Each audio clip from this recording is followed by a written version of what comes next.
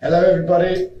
Today I would like to share with you uh, this thing I've made. Um, it's a stick holder. I made it in about half an hour from two old socks.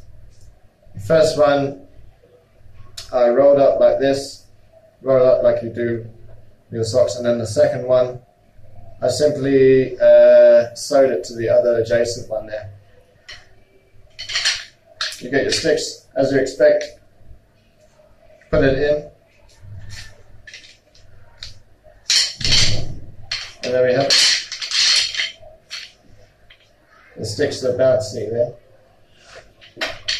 Put it on any part of the drum that, that you want. I'll choose a module, as it's easy to grab it if you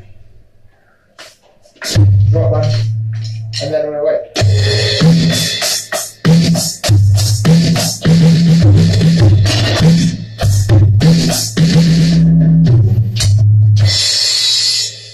For watching.